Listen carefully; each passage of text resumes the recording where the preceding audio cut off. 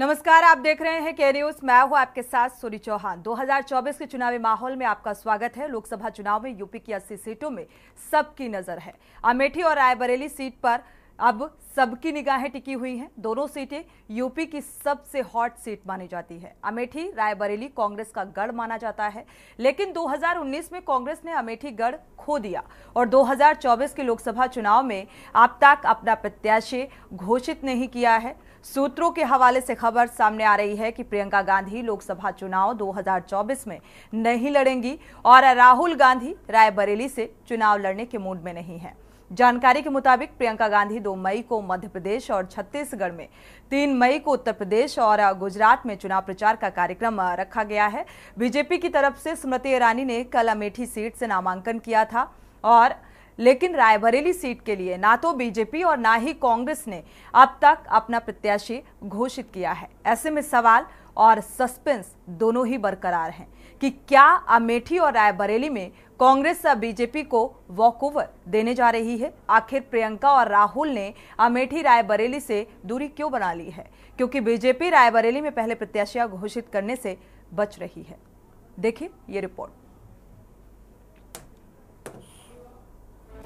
लोकसभा चुनाव 2024 में उत्तर प्रदेश अमेठी और रायबरेली लोकसभा सीट एक बार फिर से चर्चा का विषय बनी हुई है। कभी कांग्रेस के गांधी परिवार का गढ़ माने जाने वाली अमेठी सीट कांग्रेस ने पिछले चुनाव में गंवा दी थी तो वहीं रायबरेली से लगातार चुनाव जीतने वाली सोनिया गांधी भी इस बार लोकसभा चुनाव नहीं लड़ रही है। इस बीच सूत्रों के हवाले से खबर आई है कि कांग्रेस आज शाम तक अमेठी और रायबरेली लोकसभा सीट से अपने उम्मीदवारों की घोषणा कर सकती है, लेकिन उम्मीदवारों में राहुल प्रियंका का नाम शामिल है या नहीं, ये सस्पेंस बरकरार है। कांग्रेस सांसद राहुल गांधी और पार्टी महासचिव प्रियंका गांधी अमेठी और रायबरेली से लोकसभा चुनाव नहीं लड़ेंगी। मीडिया सूत्रों के मुताबिक प्रियंका गांधी पार्टी का पूरा देश में प्रचार अभियान संभालने पर फोकस कर रही हैं, तो वहीं राहुल गांधी का कहना है कि वो सिर्फ़ वायनाड से चुनाव लड़ना चाहते हैं। कुछ दिनों से अटकलें लगाई जा रही थी कि राहुल गांधी इस बार भी अमेठी से चुनाव लड़ सकते हैं। वहीं प्रियंका को उनकी माँ सोनिया गांधी की रायबरेली सीट से टिकट दिया जा सकता है। यूपी कांग्रेस की ओर से पार्टी को ये प्रस्ताव भी भेजा गया। इसके बाद कांग्रेस इलेक्शन कमेटी की बैठक में भी इस पर चर्चा हुई। पार्टी नेतृत्व ने राहुल गांधी के सामने अमेठी और प्रियंका गांधी को रायबरेली से चुनाव लड़ने का प्रस्ताव दिया था। मल्लिकार्जुन खड़गे को नाम तय करने की ज़िम्मेदारी मिली, लेकिन दोनों नेताओं ने इन सीटों से चुनाव लड़ने से इनकार कर दिया है। हालाँकि प्रियंका गांधी के पति रॉबर्ट वाड्रा अमेठी सीट पर दावा ठोक रहे हैं। हाल ही में वो हरिद्वार पहुँचे थे। इस दौरान उनसे पूछा गया था कि क्या वे अमेठी से चुनाव लड़ेंगे। इसके जवाब में उन्होंने कहा, पूरे देश से आवाज़ आ रही है। सोनिया गांधी को हम वहाँ से जीत दिलवा कर लाए थे। लोग हमेशा चाहते हैं कि मैं उनके क्षेत्र में रहूँ। देखा जाए तो अब अमेठी और रायबरेली की सीट पर सस्पेंस बढ़ गया है। अमेठी रायबरेली में पांचवे चरण में चुनाव होने हैं। अमेठी में बीजेपी से स्मृति ईरानी ने पर्चा भरा है, लेकिन रायबरेली से बीजेपी, कांग्रेस दोनों ने प्रत्याशी घोषित नहीं किए हैं, जबकि 20 मई को रायबरेली में मतदान होना है और नामांकन खत्म होने की तारीख भी करीब है। विनीत शर्मा स्पेशल डेस्क के न्यूज़ इंडिया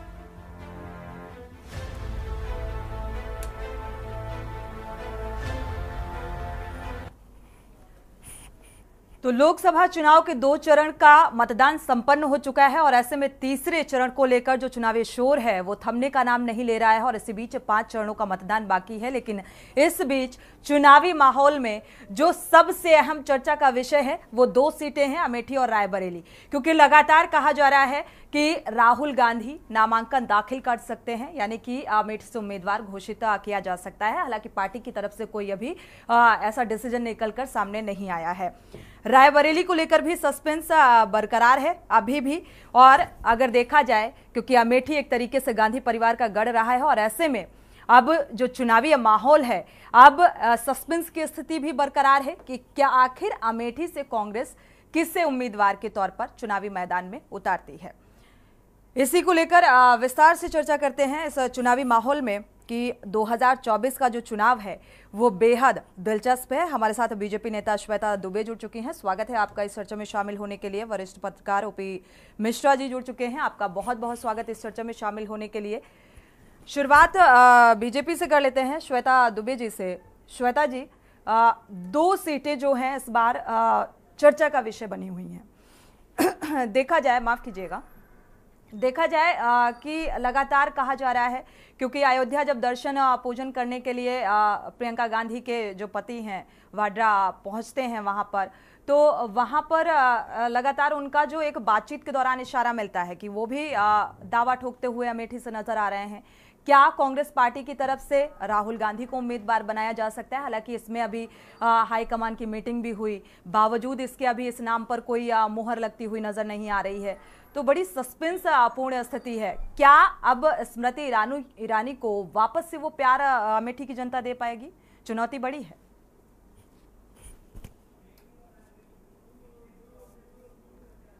आ ही नहीं रहे हैं। चुनाव की घोषणा हुई है, तब से रोज खबर आ रही है कहीं के, कांग्रेस के पार्टी के सदस्य या कांग्रेस के उम्मीदवार नामांकन करने गए, लेकिन वो हमारे भाजपा में आ गए।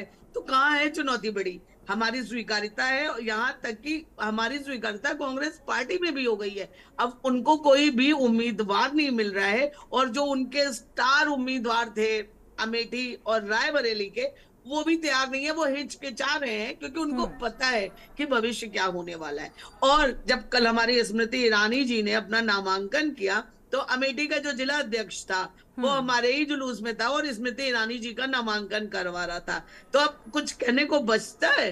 हम्म। हमारे लिए बड़ी चुनौती नहीं है ये कांग्रेस के लिए बड़ी चुनौती है एंड और इंडी गठबंधन के लिए बड़ी चुनौती है कि वो क्या करेंगे। बिल्कुल।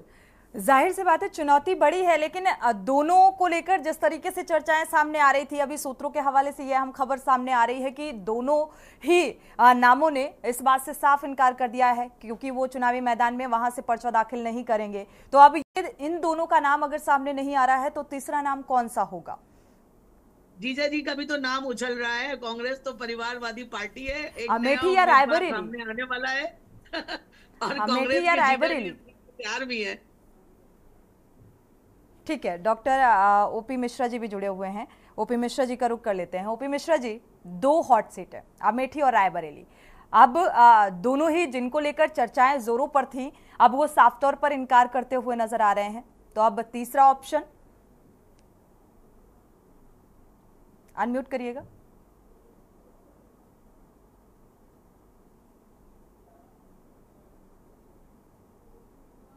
ओपी मिश्रा जी आपको आवाज़ मिल पा रही है? जी जी जी जी। तीसरे ऑप्शन तो, के रूप में किसे देख पा रहे अभी ये सस्पेंस अभी तो ये सस्पेंस है। और जिस दिन पर्चा वापसी का आखिरी दिन होगा उसके चार से छह घंटे पहले हम्म। इस बात की सूचना आ जाएगी कि कौन चुनाव लड़ने आ रहा हम्म। इसलिए अभी इस गलत फहमी में रहना कि कोई नहीं आ रहा है हम्म। हमको वॉक ओवर मिल गया। अरे रायबरेली में अगर कांग्रेस ने नहीं प्रत्याशी घोषित किया तो भाजपा ने ही कहा घोषित कर दिया? वेट एंड वॉच की चल रहा है। वो उनका इंतज़ार कर रहे हैं वो इनका इंतज़ार कर रहे हैं। हम्म। समय का इंतज़ार करिए दोनों जगहों पर कांग्रेस का प्रत्याशी चुनाव लड़ेगा। हम्म। और भाज वहाँ अमेठी में मैं अभी दो दिन अमेठी में रहा। प्लेट में रखा हुआ हलवा नहीं स्मृति ईरानी जी के लिए कि वो खाएँगी और चुनाव जीत लेंगी। बहुत टफ फाइट होने जा रही। बिल्कुल लोगों का तो यहाँ तक कहना था क्योंकि राहुल गांधी यहाँ से चले गए थे इसलिए हमारी मजबूरी थी स्मृति ईरानी जी को चुनाव जिता देने की हम्म। लेकिन अगर कोई भी ये मानी सी बात है कोई हल्का फुल्का आदमी चुनाव लड़ने नहीं आ रहा है हम्म। जो भी लड़ने आ रहे हैं वो उनका एक लेबिल है चुनाव ज़बरदस्त होगा फाइट ज़बरदस्त होगी हम्म। नतीजा क्या होगा वो चार जून को आएगा इसलिए इस गलत फहमी में रहना कि कांग्रेस जो है भाग गई है या रायबरेली नहीं लड़ेगी अमेठी नहीं लड़ेगी ऐसा कुछ नहीं है। पॉलिटिकल पार्टीज़ है उनकी अपनी स्ट्रेटजीज होती हैं। ठीक बात। जी। अब आगे की रणनीति किस पार्टी की क्या होगी? क्योंकि देखा जाए अमेठी से स्मृति ईरानी जो है वो चुनावी मैदान में है और अमेठी की जनता का मन क्या है? क्या ऐसे में अगर अमेठी में अभी तक कांग्रेस की तरफ़ से कोई प्रत्याशी घोषित नहीं किया गया है श्वेता जी तो क्या माना जाए? बीजेपी को क्या वॉकओवर मिल गया? वैसे तो बीजेपी को वो कोवर मिल ही रहा है लेकिन जैसे कि हमारे वरिष्ठ भाई साहब कह रहे हैं हम्म। कि चुनाव मतलब राजनीतिक पार्टी है और कोई हल्का आदमी नहीं आ रहा है। मुझे समझ नहीं आ रहा है कि जब क्या मतदान की नामांकन की तिथि निकल जाएगी तब कोई भारी भरकम और कांग्रेस में कौन सा बड़ा तो समाजवाद तो बीजेपी ने भी उम्मीदवार अभी घोषित नहीं किया श्वेता जी उसे भी ध्यान में रखना चाहिए भारतीय जनता पार्टी को। जी नहीं आप मुझे ये बताइए कि वो कौन सा सामान्य जनता से ले लेंगे? पार्टी से किसी और से ले लेंगे? उन्हें तो परिवारवाद की ही राजनीति करनी है। और परिवार में गिनती के ही दो तीन लोग हैं उन्हीं में से तो कोई एक आएगा और कौन आ जाएगा? और इतना सस्पेंस किया हुआ है? बड़ा high high voltage suspense drama जो है वो कांग्रेस की तरफ़ से चल रहा है। जनता के साथ साथ हमको भी इंतज़ार है कि कौन सा प्रत्याशी अवतरित होगा जो हमारे खिलाफ फाइट करेगा। और हम हलवा नहीं समझ रहे हैं। हम कहीं की फाइट को हलवा नहीं समझते हैं। मैं अभी खुद आई हूँ। आप मुझे देख होंगे इतनी धूप से चुनाव प्रचार करके अभी आई हूँ मैं। ठीक है। तो हम लोग अपनी किसी भी चीज़ को किसी भी उसको हल्का नहीं समझते हैं। और ना हमारे पार्टी संगठन में कोई बहुत बड़ा सारे कार्यकर्ता एक समान है और सब एक ही तरह से चुनाव प्रचार कर रहे हैं और सारे कार्य हम कर रहे हैं। श्वेता जी लेकिन अमेठी में इस बार जो है क्योंकि कांग्रेस का गल रही अमेठी की जनता की एक बार फिर से पुकार है। कांग्रेस के प्रति वो रुझान देखने को मिल रहा है क्योंकि के न्यूज़ ने जमीनी स्तर पर जाकर ग्राउंड ज़ीरो पर भी अमेठी की जनता से बातचीत भी की है मुखातिब भी हुए वो तमाम प्रतिक्रियाओं के आधार पर अगर बात की जाए। तो इस बार आ, देखा जाए तो भारतीय जनता पार्टी के लिए भी अमेठी सीट इतनी आसान नहीं होगी फतेह करना। देखिए चुनाव जीतना कहीं भी सरल नहीं होता है। और फिर जब जीती हुई सीट होती है पाँच साल का राज होता है तो एंटी इनकम्बेंसी हम्म। चलिए एंटी इनकम्बेंसी का ज़िक्र किया आपने ठीक है। और आ, ये उनके परिवार की परंपरागत सीट रही हम्म। है। ये जिसको कहना चाहिए कि ये बहुप्रतीक्षित सीट है इसके उम्मीदवार की जनता को भी उतनी ही रहता है कि कौन यहाँ पर आने जा रहा है। हाँ। लेकिन हमने जमीनी स्तर पर काम किया है। अमेठी से क्या पूरे देश में भारतीय जनता पार्टी ने कोई जाति भेद करके कोई काम नहीं किया है। सबका साथ सबका विकास ही किया है। तो निश्चित रूप से हम अपने कार्यों पर ही वोट मांगेंगे। मोदी जी की गारंटी है और उसी करे हम वोट मांग रहे हैं और हम ये हमें पूरा भरोसा है कि जनता हम हमारे विश्वास हम हाँ। उनके विश्वास पे खड़े उतरेंगे और मोदी जी की गारंटी काम आएगी। ठीक है हमारे साथ है वरिष्ठ पत्रकार भी जुड़े हुए हैं। ओपी मिश्रा जी देखा जाए लगातार कहा जाता है कि जो विपक्षी पार्टियाँ हैं वो परिवारवाद और जातिवाद और तुष्टिकरण की राजनीति करती हैं। रायबरेली को लेकर लगातार ये कहा गया कि प्रियंका गांधी वाड्रा का नाम सामने आ रहा है। उम्मीदवार के तौर पर। हालाँकि अब इनकार कर चुकी हैं सूत्रों के हवाले से ये भी खबर सामने आ रही है। तो ऐसे में आ, आ, क्या कुछ राजनीतिक समीकरण यहाँ पर बनते हुए नज़र आ रहे हैं? अगर चुनावी मैदान में कांग्रेस की तरफ़ से आ, कोई प्रत्याशी घोषित किया जाता है क्योंकि लगातार ये भी कहा जा रहा है कि प्रियंका गांधी के पति भी आ, ताल ठोक सकते हैं। जहाँ तक चुनाव लड़ने की बात है रायबरेली से। कई सूत्र ऐसे हैं जो भी बता रहे हैं कि कांग्रेस पार्टी के राष्ट्रीय अध्यक्ष आदरणीय खड़गे जी भी चुनाव मैदान में आ सकते हैं। हम्म। और अगर वो चुनाव मैदान में आते हैं हम्म। तो न केवल रायबरेली या अमेठी प्रभावित होगी बल्कि पूरा उत्तर प्रदेश प्रभावित होगा। ये बात भारतीय जनता पार्टी के लोगों की समझ में आ जानी चाहिए। सिर्फ़ मोदी जी के नाम पे सारे बात इसमें वोट नहीं हो रहा है। वोट इस समय हो रहा है या तो मोदी जी के पक्ष में या विरोध में। हम्म। प्रत्याशी का चेहरा भी देखा जा रहा है कि उसने अपने संसदीय क्षेत्र में कितने काम किए हैं। बिल्कुल। सिर्फ़ मोदी जी ने कर दिया है ऐसा नहीं हो रहा चुनाव। पूरे उत्तर प्रदेश में आप देख लीजिए आके हर जगह पे ये पूछा जा रहा है कैंडिडेट से कि इन पाँच वर्षों में आपने क्या किया है यहाँ? मोदी जी ने बहुत किया है। बहुत बहुत धन्यवाद है उनको बधाई है। हम्म। लेकिन as a member of parliament आपने क्या किया? ये भी तो लोग जानना चाहते हैं ना। ठीक बात। तो ये सवाल तो रायबरेली में पूछा जाएगा और अमेठी में पूछा जाएगा। भारतीय जनता पार्टी की तरफ़ से एक वक्तव्य जो है बहुत ज़्यादा सामने आता है कि विपक्ष परिवारवाद की राजनीति करता है। क्या भारतीय जनता पार्टी में परिवारवाद नहीं है? ये कौन कह रहा नहीं है? वो पत्थर तो वो पहले फेंके ना जो खुद दूध का धुला हो। हम्म। भारतीय जनता पार्टी में कहा परिवारवाद नहीं है? गिनती अगर गिनाना शुरू करें तो पूरी लिस्ट है। लेकिन आपको तो सिर्फ़ एक टारगेट करना है हम्म। कि सिर्फ़ गांधी परिवार अरे राहुल गांधी तो कांग्रेस के अध्यक्ष भी नहीं है। हम्म। कांग्रेस अध्यक्ष खड़गे जी हैं लेकिन पूरा प्रचार कांग्रेस का मोदी जी कर रहे हैं। हम्म। शहजादा शहजादा शहजादा इससे क्या होने वाला? निगेटिव पब्लिसिटी ने एक बार सोनिया गांधी को प्रधानमंत्री बनवाने बनवाने की तैयारी कर दी थी। आप अपना प्रचार करिए ना आप दूसरे प्रचार क्यों कर रहे हैं?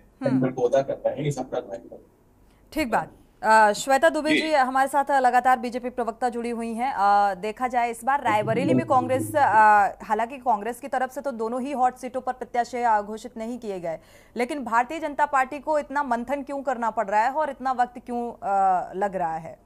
क्या इंतज़ार है कि कांग्रेस का प्रत्याशी पहले घोषित किया जाए इसके बाद भारतीय जनता पार्टी उस हिसाब से प्रत्याशी चुनावी मैदान में उतारेगी?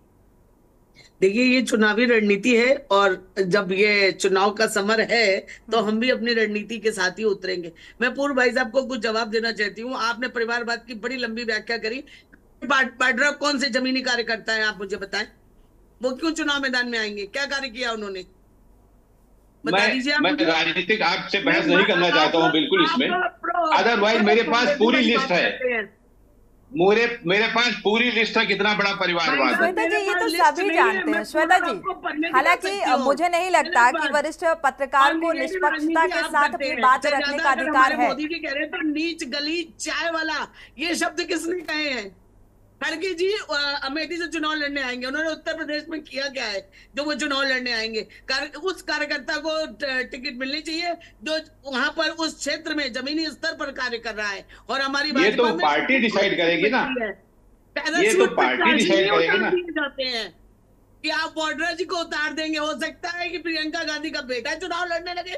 आप लोग तो इतने ज़्यादा गांधी भक्त हैं और एक परिवार जी ऐसे ही कोई चुनावी मैदान में नहीं आ जाता। आप भी जानती हैं कि कैसे प्रत्याशी को किस एज के बाद आना होता है और क्या उसके रूल्स होते हैं। मुझे लगता है भारतीय जनता पार्टी को तो ये बताने की ज़रूरत ही नहीं है। वक्तव्य दे रहे हैं मतलब कांग्रेस को खुली छूट है वो किसी को कुछ भी बोल सकती है कहीं भी कोई बयान दे सकती है। राहुल जी लंदन में जाते हैं तो कहते हैं पूरे देश में पेट्रोल पड़ा हुआ है एक माचिस की ज़रूरत है।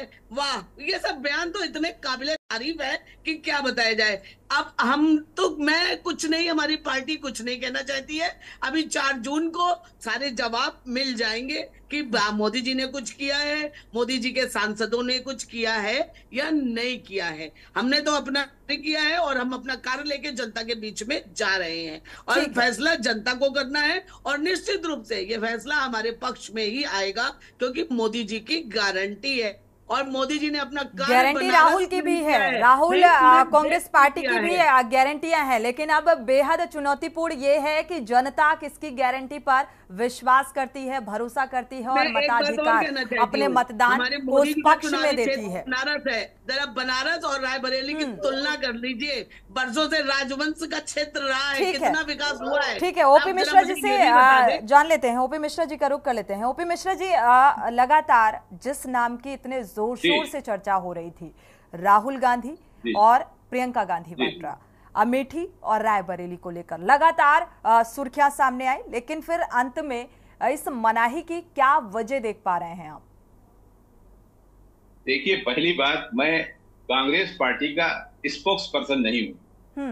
आई एम ए जर्नलिस्ट और मेरा जो जवाब है एज ए पत्रकार के रूप में। लिहाज से ये सवाल किया। तो मैं उसके नाते ये बता सकता हूँ। हम्म। जैसे अभी बहन जी ने कहा कि ये हमारी पॉलिटिकल स्ट्रेटजी है कि हम अंतिम क्षणों में नाम लाएँगे। हम्म। उसी तरह कांग्रेस की भी स्ट्रेटजी हो सकती है तो अब अपने अंतिम क्षणों में नाम लाए। हम्म। हर आदमी अपना गेम अपने हिसाब से करता है ना। बिल्कुल। दू, दूसरे के गेम से हमको क्यों तकलीफ़ हो? वो हम्म। अपने हिसाब से कौन किसको लड़ाएगा ये पार्टी तय करती है। बिल्कुल। उनको जो लगता है देखिए हर पार्टी जिताऊ उम्मीदवार की तलाश करती है। उनको कोई ना विचारधारा से मतलब होता है, न किसी चीज़ से मतलब होता है। कहा तो किसका फॉलोवर है, किसका जिताऊ चाहिए, जो जीत सकता है, उसको लड़ाया जाता है, चाहे भाजपा हो, चाहे कांग्रेस हो, चाहे सपा हो, चाहे बसपा हो, हर पार्टी को जिताऊ उम्मीदवार चाहिए। तो हो सकता है जिस तरह रायबरेली में भाजपा इंतज़ार कर रही जिताऊ उम्मीदवार की, इसी तरह कांग्रेस भी इंतज़ार कर रही होगी, अमेठी और रायबरेली में जिताऊ उम्मीदवार की। हम्म। भाई साहब की राजनीति है तभी राहुल गांधी अमेठी छोड़ के वायनाड चले गए। क्यों अब ये सवाल का जवाब मैंने। इस सवाल का जवाब हम, हम नहीं देते। बिल्कुल अगर कांग्रेस का प्रवक्ता होता तो ज़रूर उससे इस बात का जवाब लेते। तो और एक लंबे अरसे बाद अगर उन्नीस सौ सड़सठ से ज़िक्र किया जाए तो मुझे लगता है तेरह बार कांग्रेस और दो बार बीजेपी ने यहाँ जीत हासिल की है। और अब इस बार 2024 में क्या कुछ आसार नज़र आ रहे हैं? क्योंकि अमेठी का और रायबरेली का जो सस्पेंस है, वो भी अभी बरकरार है। अभी उम्मीदवार की घोषणा नहीं हुई। अमेठी में तो भारतीय जनता पार्टी ने कर दी, लेकिन अभी कांग्रेस का प्रत्याशी घोषित नहीं किया गया। लेकिन रायबरेली और अमेठी में वो कौन से मुद्दे हैं, श्वेता जी, जिसके आधार पर यहाँ की जनता पार्टी को सपोर्ट करेगी या मतदान करेगी? ऐसा कौन सा मुद्दा है जो हमने अपने घोषणा पत्र में बताया था जनता के सामने? हम लाए थे हमारा घोषणा पत्र नहीं होता हमारा संकल्प पत्र होता है। हम्म। हमने जो जो संकल्प किए थे हम उस पर खरे उतरे हैं। हमने अपने संकल्पों को पूरा किया है। देखिए ये स्थानीय स्तर का चुनाव नहीं है ये लोकसभा का चुनाव है। तो जो प्रधानमंत्री मोदी जी का संकल्प पत्र है वही हमारे जो भावी सांसद हैं उनका है। तो हम अपने वायदे पर खरे उतरे हैं। हमने जनता की हर ये मैं नहीं कह रही हूँ कि हंड्रेड परसेंट सारी परेशानियाँ दूर हो गई हैं और कोई कष्ट जनता को नहीं है ऐसा नहीं है। लेकिन हमने आ, समाज के अंतिम व्यक्ति तक पहुँचने का प्रयत्न किया है और हमारे इस आ, सेवा कार्य विकास कार्य में हमने किसी जाति भेद धर्म का नहीं किया है। हमने प्रत्येक व्यक्ति का जिसको आवश्यकता थी उसको लाभार्थी धर्म तो और आस्था को आधार तो राजनीतिक पार्टियों ने बनाया है। श्वेता जी इस बात को बिल्कुल दरकिनार नहीं किया जा सकता है। ओपी मिश्रा जी से कमेंट ले लेते हैं। ओपी मिश्रा जी अक्सर आपने अभी तीसरे चरण के मतदान को लेकर चुनावी शोर काफ़ी तेज हो चुका है। आपने पहले और दूसरे चरण का मतदान देख भी लिया। जो मतदान प्रतिशत निकलकर सामने आया वो भी एक चर्चा का विषय बना हुआ है और सवाल उसको लेकर भी उठाए जा रहे हैं कि आखिर मतदाता अब घर से क्यों नहीं निकलना चाहता? क्यों मतदाताओं को इन राजनेताओं के उन वादों पर भरोसा नहीं रहा या फिर वजह कुछ और? क्योंकि भारतीय जनता पार्टी से अपने पक्ष में देख रही है। 400 पार का जो लक्ष्य है वो हासिल करने के लिहाज से देख रही है। देखिए दो दो फ़ेज़ के चुनाव हो गए हैं। हम्म। अब आदरणीय प्रधानमंत्री जी 400 पार की बात नहीं कर रहे हैं। हम्म। अब वो अन्य मुद्दों पर बात कर रहे हैं। पहला चुनाव भ्रष्टाचार पे था। हम्म। दूसरा चुनाव दूसरा फ़ेज़ जो हुआ है वो हिंदू मुस्लिम पे था। अब तीसरा चुनाव आया है। इसमें कई अन्य मुद्दे आ जाएँगे। उस पर चुनाव बढ़ाया जाएगा। सात फ़ेज़ होने हैं। अलग अलग फ़ेज़ पे चुनाव होते रहेंगे। और ये अपनी अपनी उनकी खासतौर पर अमेठी और रायबरेली जिसको लेकर चर्चा हो रही है। यहाँ पर किस मुद्दे के आधार पर बूथ स्थल तक मतदाता पहुँचेंगे? रायबरेली और अमेठी में जो ज़रूरी सुविधाएँ हैं हम्म। उनको लेकर मतदाता वहाँ का अभी मैं पिछले दिनों गया था तीन दिन पहले वहाँ लोग बता रहे थे को हॉस्पिटल था वो बंद करा दिया गया मुंशीगंज अस्पताल बंद करा दिया गया ये बंद करा दिया गया वो बंद करा दिया गया। और राजीव गांधी की पूरी लिस्ट बता रहे थे कि ये सारी फैक्ट्री सब बंद पड़ा पड़ी हुई है हम्म। इन्होंने कुछ भी नहीं उसमें कराया अब वो कितना सच है कितना गत है इसका निर्णय तो वहाँ का मतदाता करेगा हम्म। लेकिन जो वहाँ की फीडबैक है उसमें तो यही है कि उनका सीधे सीधे लोगों के जवाब था कि ऐसा हमारा प्रत्याशी जो ना कोई मक्खी नहीं बैठने देता है हम्म। इससे कोई मिल नहीं सकता है अब उसका निर्णय वो कितना पॉपुलर है कितना नहीं पॉपुलर है ये मेरा अपना चर्चा का विषय नहीं है वो तो हम्म, बिल्कुल। मूलभूत समस्याएँ भी मतदाताओं के दिमाग में हैं। मोदी जी की गारंटी के साथ राहुल गांधी जी की न्याय यात्रा और न्याय की जो गारंटी है वो भी जुड़ी है और आम आदमी की जो समस्याएँ हैं वो भी जुड़ी हुई। हम्म। बिल्कुल। जो आम आदमी है उसके वो तमाम सपने और उन सपनों को दिखाने वाले भी राजनेता होते हैं जो अपने संकल्प पत्र में वो बड़े बड़े दावे और वादे करते हैं उस दावे और वादे के आधार पर जनता के बीच जाकर वोट की अपील करते हैं। अब कौन किसकी कसौटी पर कितना खरा उतरना है ये देखना बेहद दिलचस्प होने वाला है। तीसरे चरण के मतदान को लेकर लगातार राजनीतिक दल हैं जो चुनावी प्रचार प्रसार में जुटे हुए हैं मतदाताओं को रिझाने में जुटे हुए हैं। शुक्रिया आप दोनों मेहमानों का इस चर्चा में शामिल होने के लिए। लगातार कांग्रेस जो है गढ़ रहा और अमेठी और रायबरेली को लेकर। जो सस्पेंस है, वो अभी भी बरकरार है। अब देखना, ये भी दिलचस्प है कि आखिर कांग्रेस किसके नाम को यहाँ पर फाइनलाइज्ड करती है। राहुल गांधी को अमेठी से उम्मीदवार बनाया जाता है, इस पर भी सस्पेंस बरकरार है। और रायबरेली से प्रियंका गांधी वाड्रा को उतारा जाता है, या उनके पति को उम्मीदवार बनाया जा सकता है। इस पर भी सस्पेंस बरकरार है। हालाँकि भारतीय जनता पार्टी ने भी अभी रायबरेली में अपना प्रत्याशी घोषित नहीं किया है। इसी के साथ 2000 चुनावी माहौल में इतना ही। चौबीस के इस माहौल में फ़िलहाल आगे खबरों के लिए आप देखते रहिए के न्यूज़ इंडिया।